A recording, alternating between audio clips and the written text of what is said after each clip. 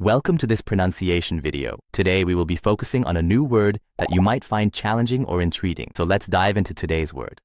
Kliniken, which means dental, health, and educational centers that offer symptom treatments.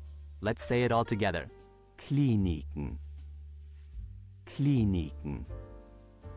Kliniken. One more time. Kliniken. Kliniken. Kliniken.